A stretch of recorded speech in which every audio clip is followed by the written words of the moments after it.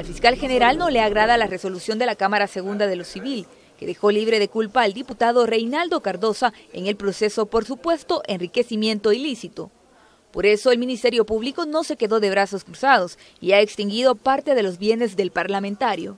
Una resolución extraña, ¿verdad? Totalmente.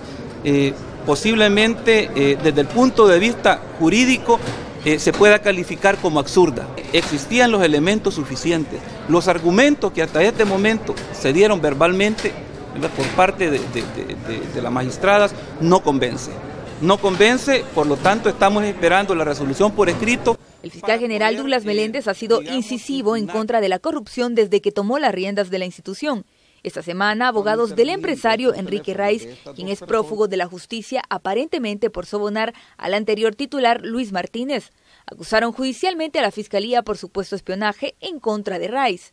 El jefe del Ministerio Público responde con una advertencia a quienes, asegura, lo intentan presionar. Están tratando, por un lado, ¿verdad?, de amedrentar A, los fiscales. Y por otro lado, están tratando en, un tipo de situaciones de estar cuestionando todo, ¿verdad?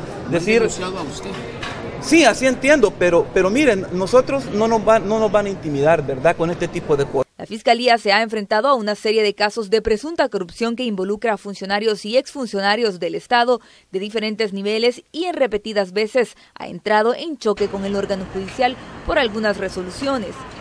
Sobre los pagos pendientes a proveedores, el fiscal afirma que se están resolviendo mediante la negociación.